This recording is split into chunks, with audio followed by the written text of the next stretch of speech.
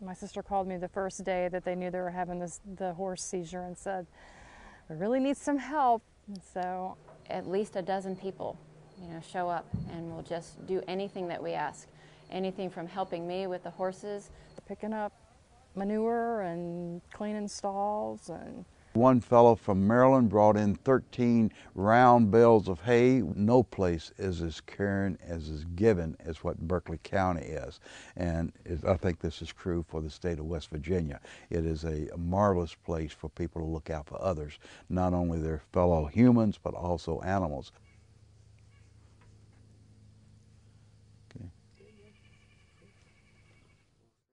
The sheriff's office got a report that some horses were malnourished. They got in touch with animal control. Animal control went out to see the horses and in fact did find that they were several, several horses were malnourished and in fact one or two horses had died. Uh, so they immediately took action and uh, confiscated the uh, horses and brought the horses into a, a small farm which the county has leased. This place has um, changed dramatically since we started from scratch, not having the things that we needed to supply them with normal health and fitness. That stuff would have to be purchased. Um, we asked for donations from the community, and the community stepped up graciously. Once one person found out, it seemed another 10 people found out because everybody was telling everybody. So one person would come and give donations, and then the next person would come with donations.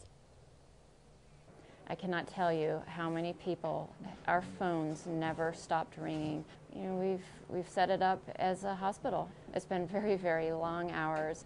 It's a heavy uh, workload, but ne- not a single time did I not have somebody asking me, what can I do, what can I do?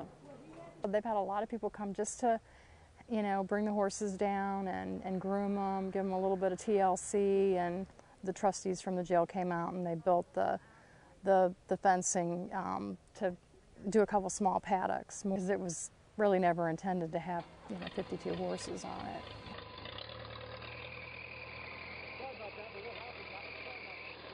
For this little girl, she was probably, I don't know, 11 or 12.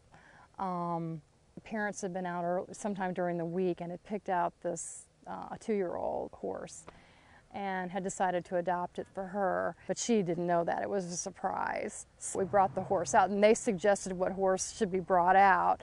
And she's like, Oh, yeah, that's the one I wanted to see. That's the one I wanted.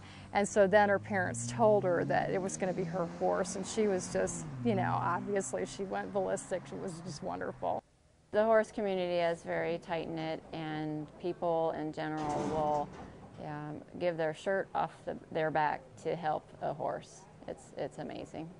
52 horses and two cows were basically adopted in one week.